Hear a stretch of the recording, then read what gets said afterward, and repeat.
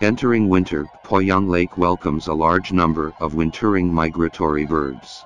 The latest monitoring data showed that up until November 28, more than 637,000 wintering migratory birds had arrived in Poyang Lake.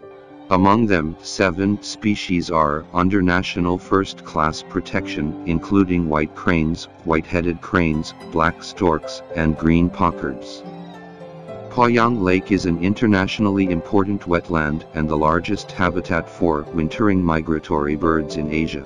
Every autumn and winter, more than 98% of the white cranes, 95% of oriental white storks, 70% of white-naped cranes and 60% of swan geese fly to Poyang Lake from all over the world.